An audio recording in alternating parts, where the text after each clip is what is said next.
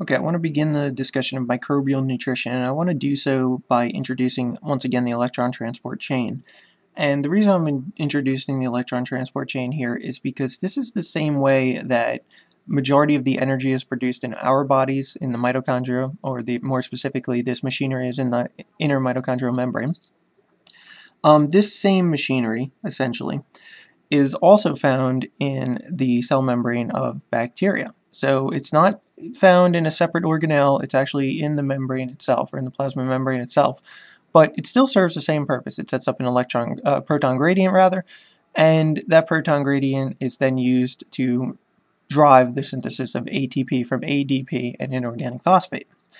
So this is a really important point, and the only real difference here is, is, between the different types of bacteria is how they go about doing this. Is you know what what is the final electron acceptor, for instance, and so I wanted to say that all these life forms basically require some electron flow. Okay, this electron flow drives the processes of life. Okay, essentially an electron transport chain, and the movement of ions into and out of the cell drives the synthesis of ATP eh, from ADP and inorganic phosphate. And the electrons come from the breakdown of nutrients. Now, where those electrons come from is another one of the fundamental differences. Um, some bacteria are photoautotrophs, meaning they derive that um, the electrons from the breakdown of water or hydrogen sulfide or something along those lines. Um, but others are are not. So there's very, basically what I want to say here right now is that microbial nutrition is diverse. Microbes are diverse. They can use a lot of different things to um, derive their energy and also their, um, and also their electrons. So a good way to segment into that is to then start talking about the different nutritional types. And there's several different nutritional types um, depending on depending on the microbe you're talking about or the specific bacteria you're talking about. So we have photoautotrophy, which generates its energy through light absorption. Okay, so photoautotrophs, they generate their energy through light absorption, but by the photolysis of H2O or hydrogen sulfide. And uh, the energy can be used then to fix CO2 into biomass. So the energy that's derived from the splitting of, say, water in this case, can actually be used then to fix carbon dioxide into organic molecules. And those organic molecules, um, you know, are usually something like glucose. So we have photoautotrophy. And the difference you're going to see in all of these nutritional types is that each one of these nutritional types, the main difference is basically where they get their electrons from and where and what their carbon source is. So that's that's pretty much the differences that we're going to see. And moving on from photoautotrophs, I have chemoautotrophs, or sometimes they're called chemolithotrophs. You'll, you'll see that maybe in a textbook. And um, they produce their energy from the oxidation of inorganic molecules, such as iron, sulfur, or nitrogen. Um, the energy is then used to fix CO2 into biomass. The same principle, I mean, you're using something, say, let's, let's say the Calvin cycle is one I can think of off the top of my head for carbon fixation. And um, they're using, say, the Calvin cycle to fix CO2 into glucose. So then we have um, photoheterotrophy, which produces energy through photolysis of organic compounds. And the organic compounds are broken down and used to build biomass. And the classic heterotrophy, or heterotrophs, which most of us are, are familiar with, they break down organic compounds from organisms to gain from other organisms to gain energy, and they harvest carbon from those from that uh, organic matter that they're breaking down or they're consuming and um, use that as their carbon source. So basically, they use both, say, glucose as both a carbon source and an energy source. So it provides the energy and it also provides the carbon.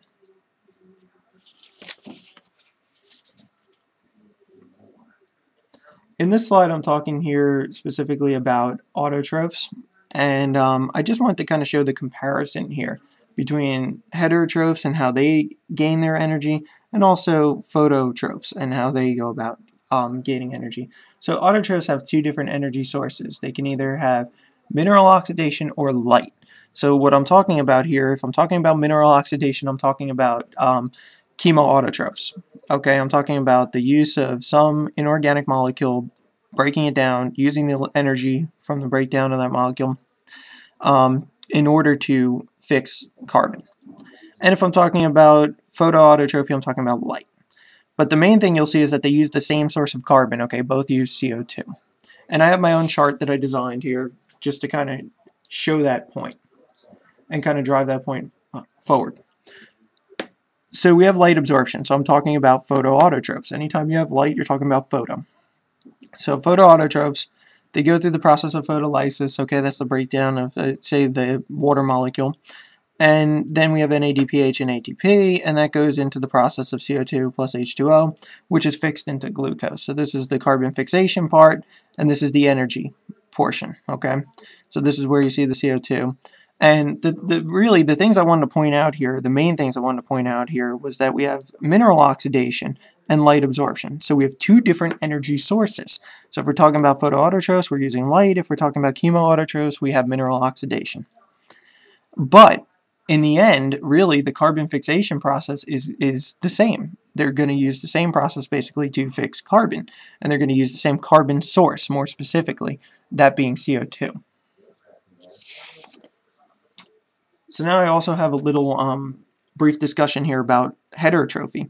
And the process of energy acquisition is complex. There's several different pathways that lead to the production of energy. So basically what I'm trying to say here is that there's several different macromolecules, amino acids, glucose, lipids, that all pretty much lead and filter into the same pathway. That The main pathway being really the TCA cycle. That TCA cycle is what creates most of your reduced electron acceptors and it also creates a little bit of ATP and, and um, but those reduced electron acceptors go into the electron transport chain and they donate their electrons to the electron transport chain. Those electron energy is harvested from those electrons, pumps protons across the membrane, which allows for the establishment of a proton gradient, and that is really where the potential energy is stored that drives the um, the changes in conformation of ATP synthase that results in that ATP production or that high level of ATP production, much higher than what you could get from say like a pathway like glycolysis. Okay, you can you could definitely couldn't get the kind of energy from that that you could from the electron transport chain. So I just wanted to kind of point that out and show those some of those subtle differences. I want to transition here into talking about culturing bacteria, and it, it may not make sense why I'm talking about culturing bacteria at this point, but really a lot of this stuff about the microbial nutrition is extremely important when you're trying to culture your bacteria. You have to know a little bit about the bacteria's nutrition because if you don't, you won't be able to grow it in under sterile conditions. You won't be able to grow it in a petri dish essentially. And a lot of times what you'll do is you'll make some agar. You'll make some kind of agar and that agar will have again some macronutrients and micronutrients that are required by your bacteria or in some cases you may have specific strains that lack the ability to break down or lack the ability to make a certain molecule, okay? And um, if they can't make that molecule and you don't add it to the medium, then you're not going to be able to grow the bacteria, basically. So it's important to understand a little bit about the nutrition if you plan on growing these things in the lab. So culture media has all of the necessary materials for growth, okay? You know, generally speaking, the most cases you're dealing with a cultural medium that's just, you know, has some nitrogen source, some carbon source, and some basic vitamins and minerals. Um, but it varies for different species, okay? Um, every species, uh, like I said, has their own um, choice, has their own um, specific nutritional needs. And the electron source, you, some of the things you'll have to provide if you're going to grow the bacteria is an electron source, some energy source, if it's not phototrophic. So if it's not phototrophic, you got to provide some energy source. Um, you need to provide a carbon source. If it's not a photoautotroph or an autotrophic bacteria, you need a carbon source. And you also need a nitrogen source. I mean, these are just the basic components of life. I mean, this is basic nutrition that you and I need. So if not capable then of nitrogen fixation, then you got to add a nitrogen source. And this is usually accomplished pretty pretty simply in the lab. And another uh, interesting thing, this, this, is something I actually personally worked with just recently, was MacConkey medium. Okay, MacConkey is a, is a specific type of medium. And the interesting thing about MacConkey, and you will find some of these things, is that MacConkey is both selective and differential. Okay, so what do I mean by both selective and differential? Well, MacConkey specifically selects for gram-negative bacteria. So if I have some solution and I have multiple bacteria in that solution, let's say, and I don't know exactly what I have to um, and I don't know exactly what at this point I um I have, but I want to know, and I know that what I'm looking for is gram negative.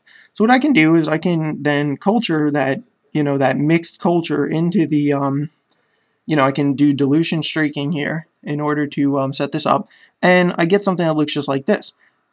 And it should, in most cases, and this isn't always perfect, but it should select for only the gram-negative bacteria, right?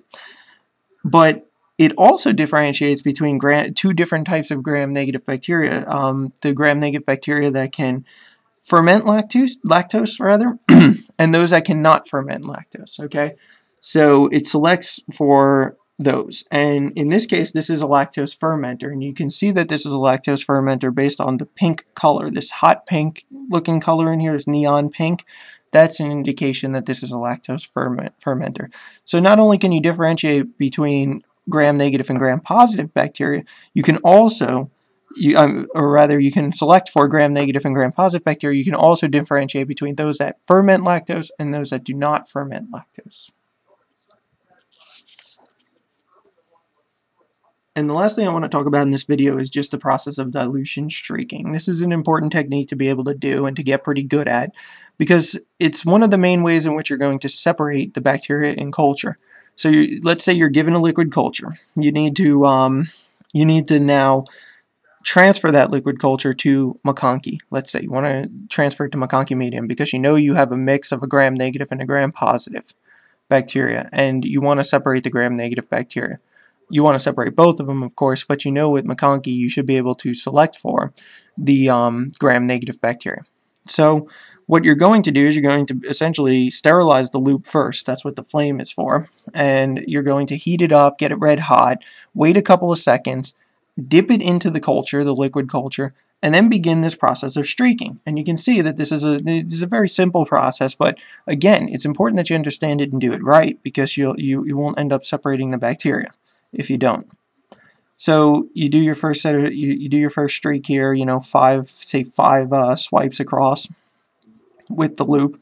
You flame the loop again, you always want to sterilize it, and you don't dip it back into the culture or anything like that. What you do is you choose another spot over here and you then run the loop back through a few times, only a few times, you can see that here, back through the original streak okay? And each time you're essentially diluting it more and more, okay? You're getting less and less bacteria on the loop.